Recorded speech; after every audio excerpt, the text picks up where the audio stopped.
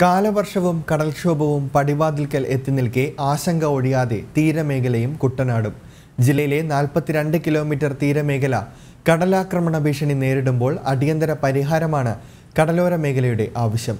കുട്ടനാടടക്കമുള്ള ഇടങ്ങളെ പ്രളയത്തിൽ നിന്നും സംരക്ഷിക്കാനുള്ള നടപടി വേണമെന്ന ആവശ്യമാണ് ഈ മേഖലകളിൽ നിന്നും ഉയരുന്നത്.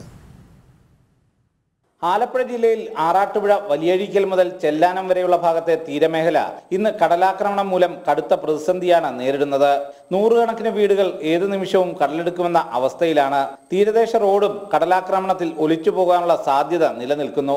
അടിയന്തര കടൽഭിത്തിയും ഒരു വർഷത്തിനുള്ളിൽ പുലിമുട്ടോട് കൂടിയ ശാശ്വത കടൽഭിത്തിയുമാണ് തീരമേഖലയുടെ ആവശ്യം.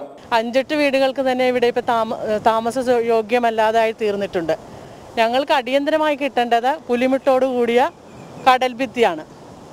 അത് ഒരു വർഷത്തിനുള്ളിൽ അത് പണിത് ഞങ്ങൾക്ക് കിട്ടണം. കുട്ടനാട് അപ്പർ കുട്ടനാടൻ മേഖലയും കടുത്ത പ്രളയഭീതിയിലാണ്. പാടശേഖരങ്ങളുടെ പുറംബണ്ട് ശക്തിപ്പെടുത്താത്തതും പ്രളയജലത്തെ പ്രതിരോധിക്കാനുള്ള പദ്ധതി നടപ്പാക്കാത്തതും കടുത്ത പ്രതിഷേധത്തിന് ഇടയാക്കിയിട്ടുണ്ട്. ജനം ആലപ്പുഴ